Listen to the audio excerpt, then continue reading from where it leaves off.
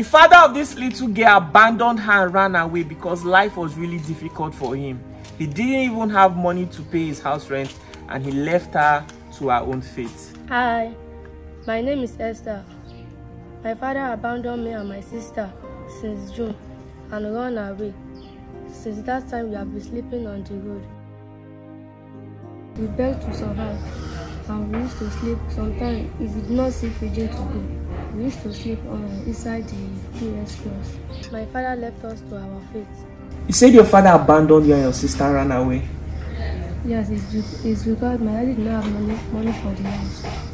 What happened? Our, our landlord came and said my dad, I'm telling my daddy that the money of the house has gone to him. I should pay her for another money. That day we went to school and before we before we came back and our father had packed all his belongings. I did not see her, I not see him again. Wow. Are you serious? You mean the landlord told you people that your rent has expired and people should pay? Yes. Because your daddy did not have money. When you went to school, he took every property in the house and ran away. Yes. Up till now, I have not seen him. Yes. So how did people survive? How have you people been living since then? Since that time we are begging for money and we are sleeping in the church. Uh, it's 21 days or 7 days. Sometimes we do not even see church to sleep. We are sleeping under chaos. What do you mean 21 days or 7 days? The church, the church that if you see church that they are doing feeding, we go there, we go and sleep. Okay, what she means is that if she sees a church that is doing a program, like a night video for 21 days, her and her sister will be going there to pass the night. They'll go there like people who are coming to attend the church program. But what they're actually going there to do is to pass the night there. So, people beg to survive. Yes, we beg to survive. And we used to sleep sometimes if we did not see Fiji to go. We used to sleep uh, inside the PS cross. Jesus Christ. Can't imagine all the dangers this girl and her sister were exposed to. Why is your sister not here right now? She is in hospital because she used her leg to move when we are when we are when we are roaming about When people were roaming about, what happened to your sister? Where did she put her leg? inside gutter. Where we from? She mistakenly put her leg in gutter. Yes. Then she had something cut her. No, the leg swell up. Oh, I think that while they were roaming around the streets, the sister miss she put she stepped she put her leg inside gutter and I think the leg got infected by something. She didn't have any cuts, but she noticed it after some days, right? What of your mom your mom? My mom have died since we are small. Wow, what does your daddy do for a living? Farmer. My daddy is a farmer. And he used to cut grass. I people his only children. Yes. How old are you? I'm 18 years. Oh, you don't look 18 years old. Are you sure of your age? Yes. Of your sister, how old is she? 19 years. Are you really sure you are 18 years old? Yes, I was born on August 27, 2005. And my sister was born uh, April 22, 2004.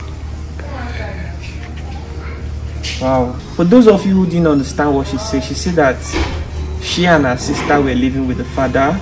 Unfortunately, their rent got expired and the father did not have the money to pay. And when they went to school, before they came back from school, the father ran away and left them to their fate. They started sleeping in churches.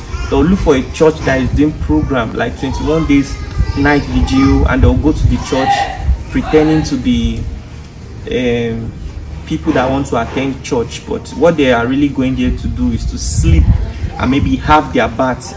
Then in the daytime they'll go about roaming the streets begging. So while they were roaming the streets it rained that night and the sister fell into a gutter. But it didn't seem like anything happened. Because she came out from the gutter it all appeared that she was fine. But later on her leg started to swell. And it was later on that they discovered that the sister's leg infected. In fact, they sent the picture to me. And when I saw this picture, brothers and sisters, that leg has really gone really, really bad. With the way I'm seeing it, I'm suspecting that the doctor might ask them to amputate it or something because that leg has really gone infected there were holes everywhere in the leg. This is what is going on in the country, Nigeria, and um, social welfare is not doing so much for people like this. It's so sad that they had to get to this point before they were able to see someone that took them to an orphanage home where they are currently staying. So, are you going to school right now? Yes, I'm You're in SS1. Yes. What would you like to be in the future?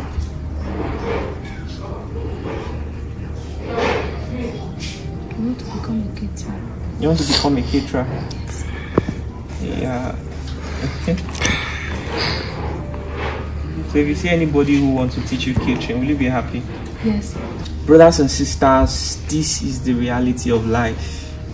I'm still here traveling from state to state telling the stories of underrepresented people so people will become aware of what is really going on in the society and the government will be able to make better decisions in the future. If you have a story you would like me to cover, send me an email or send a web message to a WhatsApp message to Love Foundation.